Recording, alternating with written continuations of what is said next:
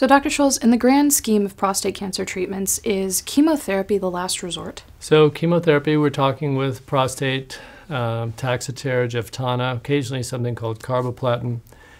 These medicines um, are very effective and they have been pushed um, down the line due to the advent of new, perhaps you could describe better treatments, um, oral medicines, powerful second generation hormone treatments, injectable radiation treatments like Xofigo.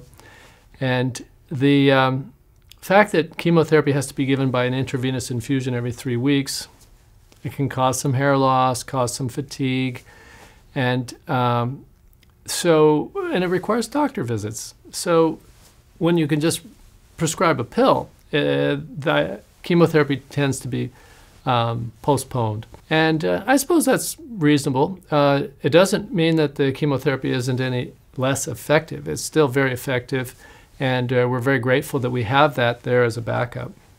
There is one exception, and that is in men that are newly diagnosed with what we call high risk prostate cancer.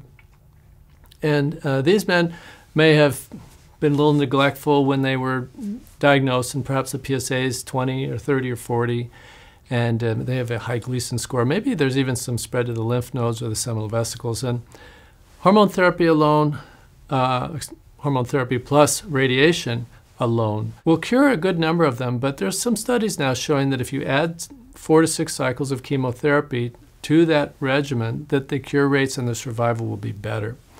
And so chemotherapy is also used at the get go in the early stages of prostate cancer in men that have more high risk prostate cancer. When you are in your practice on a daily basis, are you giving men early Taxotere or Jevtana in these high risk cases?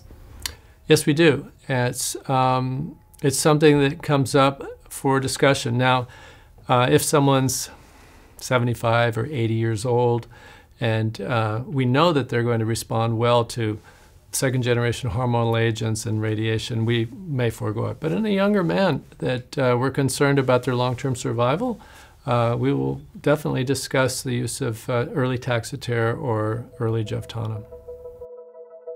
Thank you so much for watching.